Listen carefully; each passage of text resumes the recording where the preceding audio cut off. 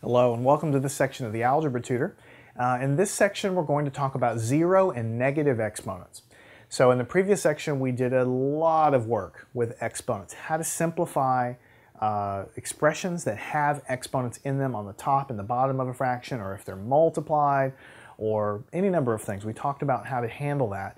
Now we're going to expand and talk a little bit more about what happens if you have a negative exponent, which we briefly, briefly talked about. We're going to talk a lot more about it now. And also, what if you have an exponent that's just zero?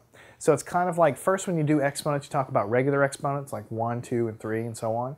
And then you talk about zero and negative exponents because there's a couple of other things to think about. But none of it's hard. Let me write down the important stuff and we'll work a lot of problems to give you confidence. So the first thing I'm going to do is put on the board um, something very important. If you have anything in this case, I'm going to represent it by x, but anything raised to the power of 0, you're always going to get 1, right? Always. If you have 3 raised to the power of 0, it's 1.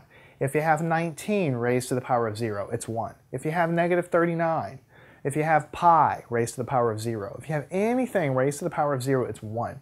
That's just a definition from, from a mathematical definition. You know, a lot of times in math, people who developed algebra, they have to make certain assumptions and define certain things in order for the rest of it to make sense and to build on that those initial assumptions.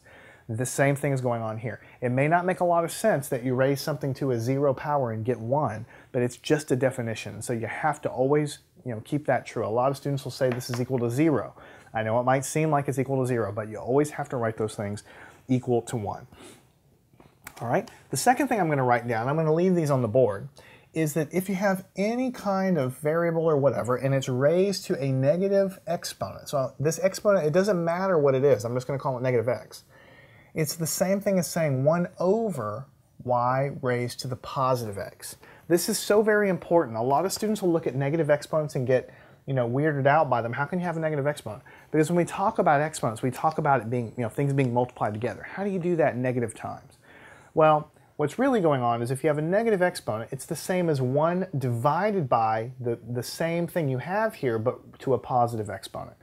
So negative exponent basically just means you move it down below the fraction bar, below, you know, if, if, there's, a, if there's nothing there, then you just move it below a 1. If it's involved in a larger fraction, you just move it downstairs to the bottom of the fraction. And you make the exponent positive when you do that.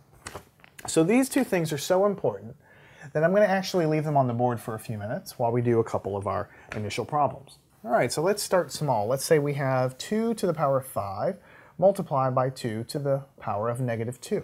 Again, a lot of students look at that and say, well, what does 2 to the negative 2 mean? How can that, how can that work? Well, we talked a little bit about the fact that this is really 1 over 2 to the power of positive 2. And just to give you an example, 2 to the negative 2, you just move it downstairs below the fraction and make it positive. That's what that's equal to. But for the purpose of trying to simplify an expression, everything is the same as what we've already learned. You don't have any new rules. Here we have 2 is the same, so we can add these exponents. So what we'll have is 2, 5 plus a negative 2, or 5 minus 2 is 3. And this is the answer, right? That is the answer. You just add them together just the way you always do, using your, your knowledge of adding negative and positive numbers. Now there's another way to do it, um, just like I, I, tell you, there's always more than one way to do a problem. And that is to kind of take advantage of what we just talked about here. This is also equal to 2 to the power of 5 times. This can be written as 1 over 2